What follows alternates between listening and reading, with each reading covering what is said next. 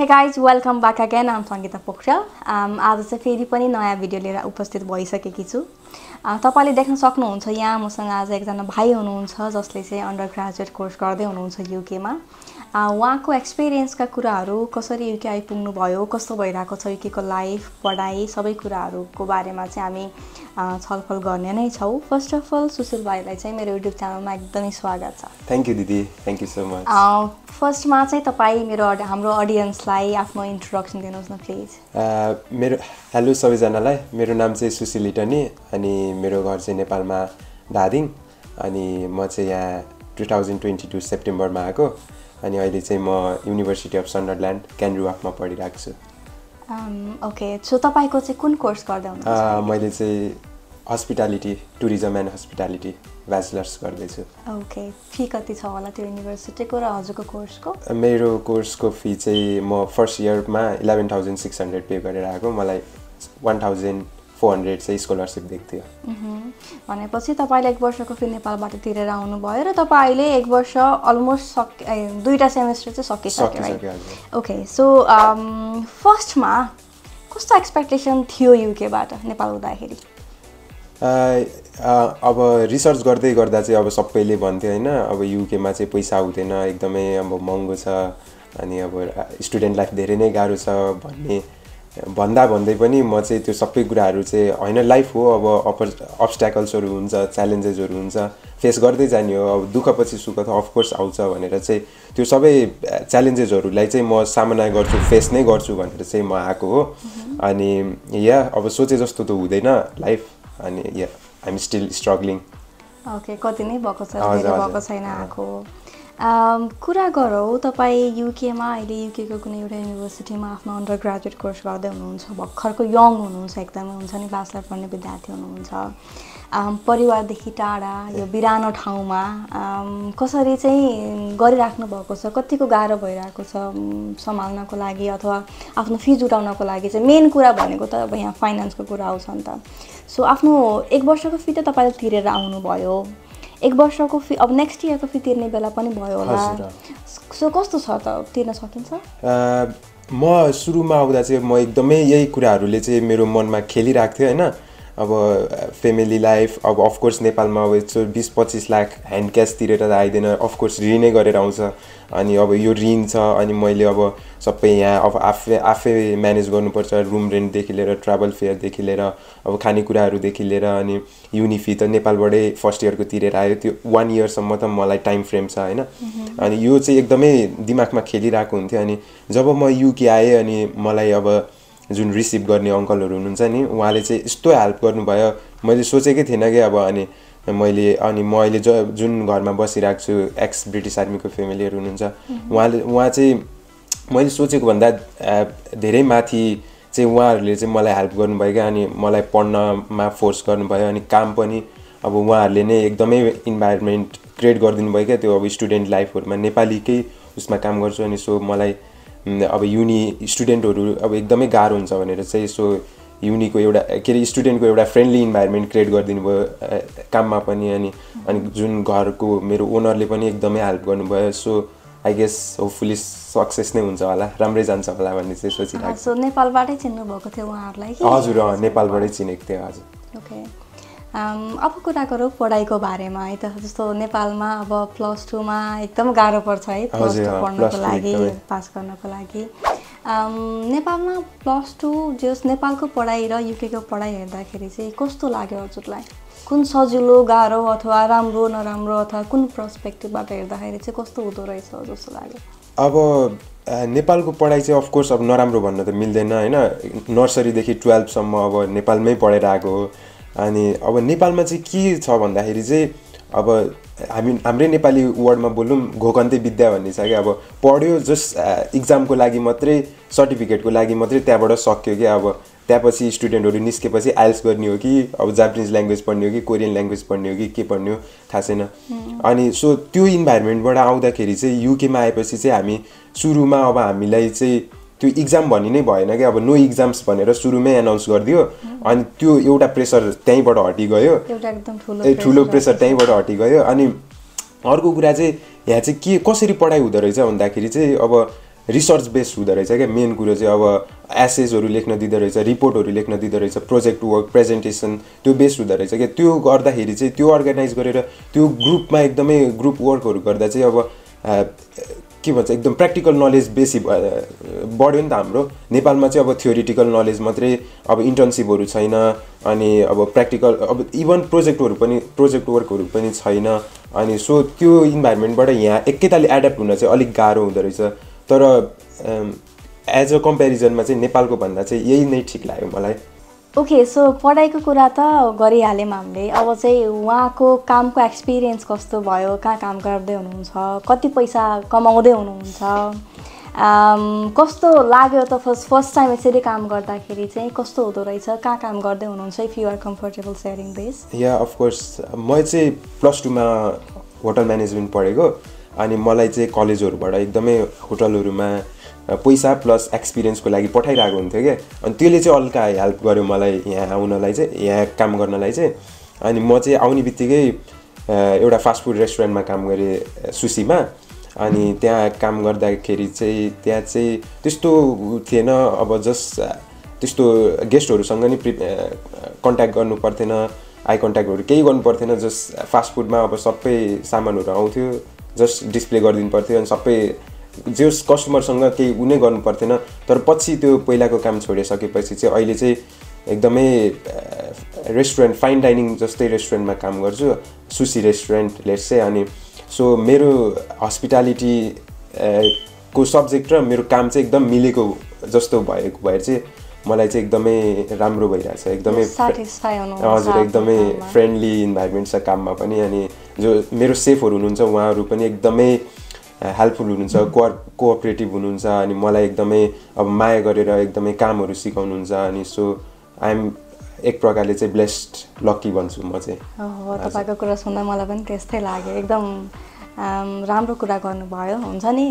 Room पाउनेदेखि लिएर एउटा friendly इन्भाइरोमेन्टदेखि लिएर हरेक कुरा चाहिँ रुम चाहिँ एकदमै मैले सुरुमा पनि एकदमै खोजेको रुम चाहिँ एकदमै म रुम पाउन एकदमै स्ट्रगल गरेँ होइन? अनि जुन मलाई एक दुई जुन रुम नपाउँदा टाइमको हेल्प गर्ने जुन अङ्कल आन्टीहरू हुनुहुन्छ नि उहाँ प्र उहाँको गुणहरू चाहिँ म अहिलेसम्म बिर्सिन्न क्या। म कहिले पनि बिर्सिन्न क्या लाइफमा उहाँहरूले मलाई एकदमै हेल्प गर्नुभयो एकदमै सपोर्ट गरेर अब त्यो त्यो टाइममा कामहरू पनि खोजिदिने अनि सपोर्ट अब हर कुरामा सपोर्ट क्या इमोसनल्ली फिजिकल्ली अब म त भर्खर मेरो फेमिलीहरू सबै छोडेर फर्स्ट टाइम अरूको देशमा आएको नि त सो उहाँहरूले चाहिँ त्यो टाइममा मलाई एकदमै हेल्प गर्नुभयो एकदमै कोअर्डिनेट गरेर कोअपरेटिभ गरेर एकदमै लिएर जानुभयो अनि पछि कामहरूमा पनि एकदमै अहिलेसम्म हेल्प गरिराख्नु भएको छ। अनि अर्को भनेको ब्याचलरको विद्यार्थी भन्दा बित्तिकै चाहिँ युकेमा ओहो फी तिर्न सक्छ त जस्तो खालको क्वेसन आउँछ नि त। हजुरको विचार चाहिँ के छ त? ए या अब सबैभन्दा ठुलो कुरा चाहिँ यही हो होइन? अनि मलाई चाहिँ सक्छु जस्तै लाग्छ किनकि अफकोर्स मैले भनिहालेँ मेरो अब काममा पनि एकदमै इन्भाइरोमेन्ट त्यो बनाइदिनु भएको छ। अहिले चाहिँ हजुरको फुल टाइम फुल टाइम छ हजुर अहिले चाहिँ कति महिना पाउनुहुन्छ हजुर? अब हाम्रो जुन जुलाईमा जुनमा असाइनमेन्ट सक्यो जुन पछि जुन पछि सेप्टे सेप्टेम्बरसम्म। अनि त्यहाँपछि अक्टोबरबाट त फेरि नेक्स्ट सेमेस्टर सुरु हुन्छ। हजुर त्यो टाइमसम्म चाहिँ फुल टाइम काम गर्न पाइन्छ। ओके अब चाहिँ जस्तो नेपाल र युकेको बारेमा अलिकति कम्पेयर गरौँ त हुन त कम्पेयर गर्नको लागि थुप्रै कुराहरू छन् होइन? तैपनि कस्तो मान्नुभयो हजुर? हजुरलाई चाहिँ युकेको लाइफ कस्तो लागिरहेछ? टु बी अनेस्ट हुन्छ नि? हुन्छ सेटिस्फाई हुनुहुन्छ खुसी हुनुहुन्छ रमाइलो गरिराख्नु भएको छ अथवा ओके म जस ठिकै छु टाइपको हुनुहुन्छ कि? होइन म नआएको भए पनि हुन्थ्यो जस्तो छ कि? कस्तो छ? मलाई सुरुमा आउँदाखेरि सुरुमा कस्तो भएर त्यो एउटा फेज हुन्छ नि त यो इन्टरनेसनल स्टुडेन्ट भइसके पछाडि चाहिँ फेज फेज पार गर्दै जाँदाखेरि त्यो कतिपय कुराहरू चेन्ज हुँदै जाँदो रहेछ कि? हजुरको केसमा कस्तो भयो? सुरुमा चाहिँ म आउँदाखेरि चाहिँ मेरो चाहिँ अलिकति म प्लस टू पछिको कुराहरू चाहिँ होइन प्लस टू पछि चाहिँ मैले आइल्स दियो एउटा ग्रुप नै हुन्छ नि त प्लस टू पछि अब आइल्स गर्ने अस्ट्रेलिया जाने भन्ने। अनि त्यो ग्रुपमा म पनि अब आइल्स गरेर अस्ट्रेलिया अप्लाई गर्दाखेरि चाहिँ अब सबै प्राय म्याक्सिमम् हाम्रो चाहिँ मोर देन टेनवटाको ग्रुपमा एक दुईजनाको मात्रै भिजा रिजेक्ट भयो अरू सबैको भिजा लागेर अस्ट्रेलिया गयो कि। अनि त्यो त्यो फ्रस्ट्रेसन हुन्छ नि।